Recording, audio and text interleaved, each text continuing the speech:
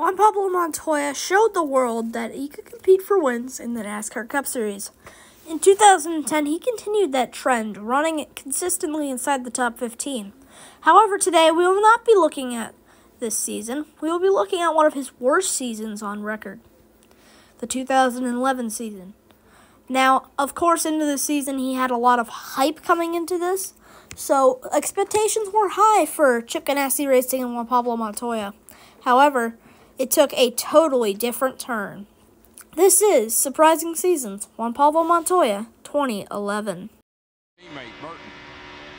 The mayor. Oh, Oh, trouble. Junior's in the wall. Montoya. Joey Logano. Logano gets hit. Edwards in the infield. And more. I just saw that coming, Mike. It was a much wilder start than what even the first start was. Carl Oh, Carl- and Regan Smith. I believe Carl got into. He, he definitely got into Dale Jr. I'm not sure uh, if if Regan Smith pushed him up there or not. Take another look at it. From Jimmie Johnson. too wide. Oh yeah, yeah. Carl got into the right rear of Dale Jr. and Dale Jr. got into the 78 car, Regan Smith. Almost looked like Carl Edwards tried to go through a hole that wasn't quite wide enough for that 99 car. Yeah, he's trying to slip right in there and he couldn't make it. And then Dale Jr. bounced off of Carl and, and got into Regan Smith. A wild through the target car. Jamie McMurray behind him. Montoya goes around, and what a save at 200 miles an hour. He drives it onto pit road and to the caution flag. World class right there. Will bring him off the corner. Here is Dick Berggren. Matt Kenseth, Oh, great trouble. turn trouble on the racetrack. And it is Montoya crashing along with Greg Biffle. And again, Montoya makes a great save to come down pit road as the caution flag flies for the 11th time today. For caution flags in the 500 at 11. Top of your screen, here they come off turn four.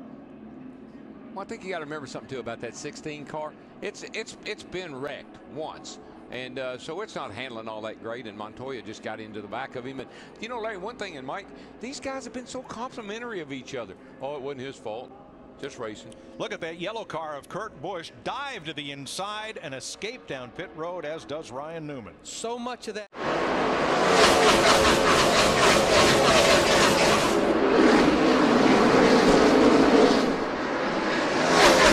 Boy, Oh, around goes the 29 of Harvick. He saves it. All be- it's all and behind loses him. it. And All they behind him. all pile up behind him. Trevor Bayne and Montoya, and a big crash as Bowyer slams into a stop Jamie McMurray. That all started when Kasey Kahne in the four got loose off two and just log jammed them up. Yep, it's into the back of Montoya right here, big time. Lifts Montoya up off the ground. Berg corner here. Yeah, there he is, uh, right here. This is Kasey coming off a corner over here. Let's see if he gets. He pushes, pushes out, pushes out. Looks like he thinks he's going to get the wall. He gets out of the throttle. Mark gets Mark Martin in the five gets into the back of Harvick's 29 car. Everything looks pretty good right here. It looks like everything's going to be fine. But then all of a sudden, these guys that are coming up on this mess on Harvick down there on the bottom, they start trying to check up, and then they all get into it. The Look at the 42 of. Montoya, the 21 of Bayne. To the front now. Truex. Whoa, no. Newman saves it. They all saved it. McMurray's still on the back on the apron. Unbelievable. I think Juan's got the most damage out of that. No caution. And Montoya Definitely a lot of damage on the right front of the 42 car. I don't believe he saves that race car thanks to Montoya. You know why? You know why he, Ryan Newman can do that? Dirt track racing, man. That they get them that crossed up on dirt and save them all the time. Then 42 pounded into him and got trouble what in the world happened to Juan Montoya? I'm going to say that the back of that car met that part out there that it wasn't looking or didn't want to with a little help. That's a lot of damage to our pole sitter. Well, let's see how uh, Martin Truex saw that one. Actually, Newman got a little bit of the wall too. Jamie Mack, the leader, whose best finish this year, seventh at Martinsville. As Larry said, that's his only top 10. Kasey Kahne is all over him for the front spot as Montoya and Johnson are side by side for sixth. I know one thing. I watched everybody. Whoa, Johnson! Did they make contact? Johnson spins. I was. Hang on to it. Caution. Caution. Hold on to it. He it wasn't. It was just what happens off the corner. Did Montoya give him enough room right here? Montoya was trying to make the crossover. They made contact. Yeah, he didn't quite complete the crossover. Uphill climb uh, when you're coming up out of the hole, and that's where the car gets really really light. Oh, trouble! Turn four. Montoya's Right around. in front of the leaders, too. Come on, come on. Caution out. Brake, hold the brake, hold the brake, hold the brake. Oh man, it's a good thing he held the brake. Hold the brake. That will bring the Turn it a caution out for the sixth time. Really, really hu- struggling to hang on to this thing for the last several laps.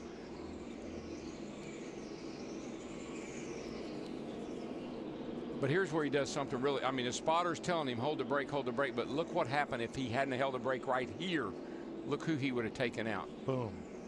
Jimmie That, Johnson. that was looking that way. Like Matt Kenseth and Greg Biffle in particular, I think we'll have to find out. I think Greg Biffle will get the free pass. Matt Kenseth is on the lead lap.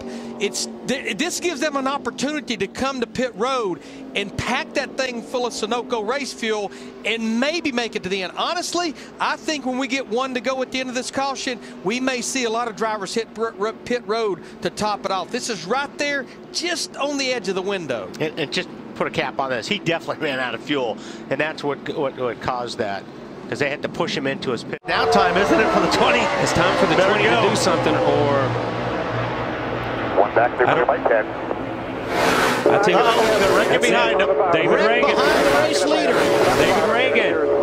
No caution yet. David Ragan coming Still back wrecking. to the start-finish line. they're wrecking again. everywhere now. They're wrecking again. Ragan with sweet redemption gets the victory at Daytona. Two separate wrecks on the last lap. Great job. Thank you a lot, Matt. Oh, oh, oh, oh. The vibration's gone and goes, huh, okay, let's try third. Yeah, and that's uh, trouble, right here.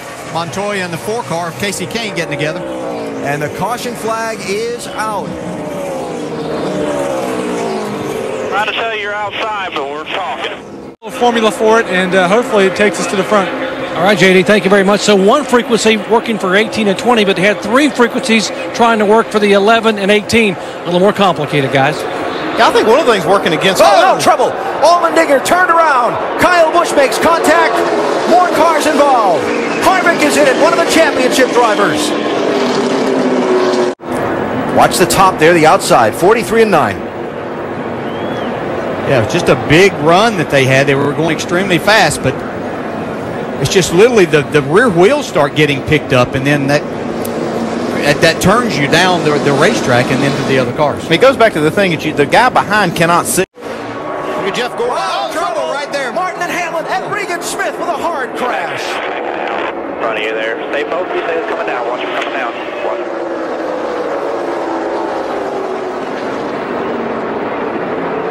Burton, double zero Reutimann did not Oh, hit. trouble. Kyle Busch, Matt Kenseth around. There and so is, so's the 18. Montoya's involved. Bigger story, 17 car, Matt Kenseth. Second in the championship, up against the wall. And watch Kyle Busch. See, Matt's already locking it up, getting in into the corner. He'd gotten in too hard. See the smoke.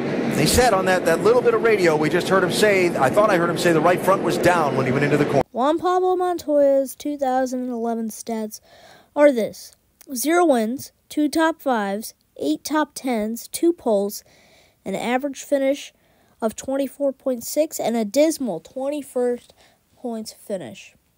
Juan Pablo Montoya would go on to have two more seasons with the team before retiring from the NASCAR Cup Series in 2013.